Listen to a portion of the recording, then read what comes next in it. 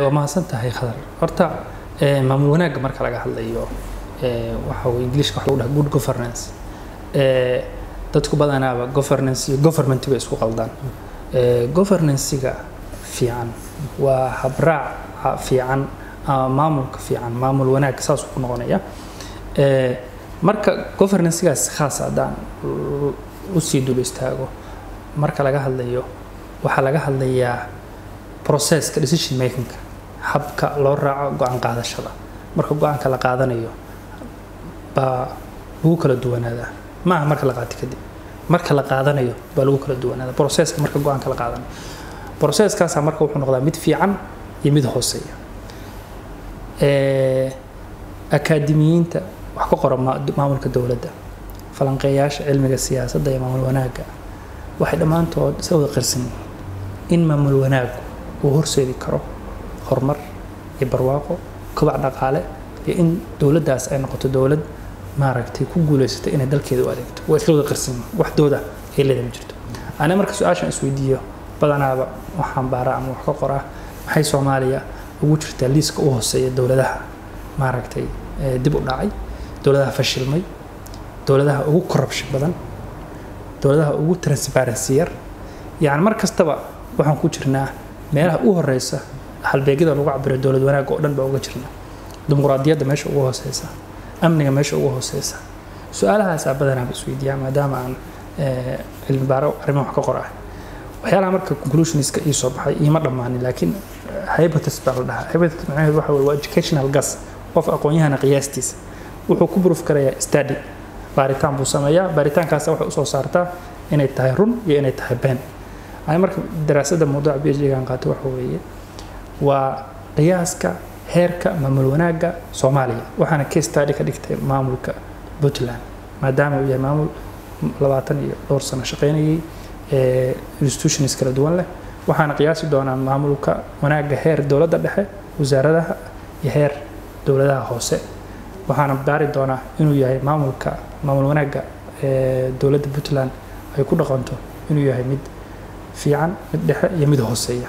Intaas bay kala noqon doontaa wixii tala waan siin doonaa marka laga soo tegaya marka intaas hay'addan waxyaalaha aadka muhiimka uga ama hay'adaha dowladda muhiim uga waxaa ka mid a maamul wanaagga. Markii aan shaqada la wareegay kulanka u horreysay shaqadaha la qaatay kulamadii dambeba waxaan u sheegay aragtidayda maamul. Waxaan aada ugu adkeeyey in aragtidayda maamul ay tahay maamul wanaag. Hufnaan inay tahay sidii maaragtay aan u ahaan lahayn dad hufan oo dadka la wadaaga xogta maamul wanaag marka tirar buu leeyahay. Tirarka maamul wanaag waxaa ugu horreeya waa transparency. Okay marka laga hadlayo good governancyga waxaa jira principles. Mabaadi. Mabaadi. La rabo in lagu dhaqmo. Mabda ugu horreeya oo jira waa isla xisaabtan.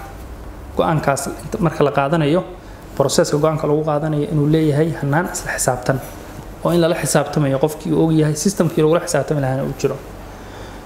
Mabda'a labaad waxa weeye waa inuu jiro wax la yidhaahdo transparency. Daahfurnaan. Daahfurnaan. Daahfurnaantu go'aanka marka la qaadanayo waa in uu yahay mid si daahfuran loo qaado oo lagu qaadanayo daahfurnaanta u fiican ha waa baarlamaanka markay joogaan doodaha ka dhicisay si daahfuran waa in go'aanka loo ogyahaan la isla ogyahay tan saddexaad waa iyadana muhiimka waxa weeye waa isla xisaabtan. Waxaan weeyaa xisaabtan mehe waa ka qaybgal wa ama waxaa la yidhaahda participation. Saddexdaa tiir baa ugu muhiimsan way badan yihiin laakiin saddexdaa tiir baa ugu muhiimsan. Marka su'aasha la isweydiina waxay tahay go'aanada dowladdeenu iyo madaxdeena soomaaliya ama puntland markay qaadanayaan ma yahay mid mabaadi'da noocaasa leh. Annaga hay'adda b h ahaan waxaan oo ah siyaasad inaanu go'aanada iyadu ay noqdaan kuwa daafuran laga qayb galo xisaabtan ogol. Dhinaca kale marka laga soo tago daahfurnaanta daahfurnaanta dowladdu way ku dhaqmi kartaa laakiin waxaa ilaalinahaya waa bulshada bulshada rayidka. Ay ugu horeysa mediaga ay ku xigto civil society-ga inay ku jiraan ajandayaashooda iyo barnaamijtooda iyo ahdaaftooda hay'ad map wariyaasha ururka wariyaasha inay ku jirto mabaadidooda iyo ahdaafdooda in la xoojiyo daahfurnaanta la xoojiyo isla xisaabtanka la xoojiyo transparencyga la xoojiyo ka qaybgalka in la xoojiyo ahdaaftooda inay ku jirta baa la rabaa good governancyga sidoo kale bulshada rayidka iyo bunsa ugu horeysa inay ku jirta baa la rabaa dadka noocaas oo kale ah baa waxay dhiirigelin karaan inuu dalka ka jiro isla xisaabtan iyo in kale.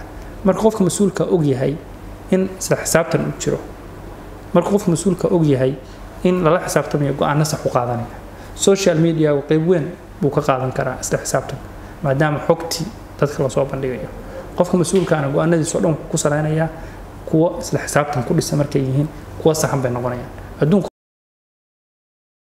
adeegga idhibosid ee bangiga salaam waa adeeg uu qof kasta oo macmiil oo isticmaala adeegga sahal ee shirkadda isgaarsiinta golis uu ku shuban karo ama dhigan karo lacagtiisa akoonkiisa bangiga salaam isagoo aan tegin xarumaha bangiga salaam. Haddaba si aad u dhigato lacagta akoonkaaga bangiga salaam ugu horeyn garaac xidig siddeed siddeed lix xidig akoonkaaga bangiga xidig lacagta afargees sidoo kale si aad ula baxday lacagta kugu jirta akoonkaaga bangiga ugu horeyn garaac xidig siddeed siddeed toddoba xidig akoonkaaga bangiga salaam xidig lacagta xidig binka akoonkaaga. Waxaa adeegan adeegsan kara ganacsatada iyo meheradaha. Waxayna ku wareejisan karaan lacagtooda akoomada sahalka marka ay ka buuxsamaan